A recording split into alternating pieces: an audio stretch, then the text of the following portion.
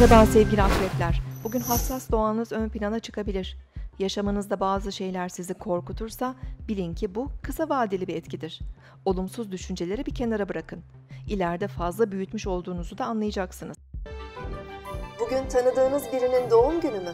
Onun için hazırladığımız videoyu buraya tıklayın ve paylaşın. Ona en güzel hediyeyi siz verin.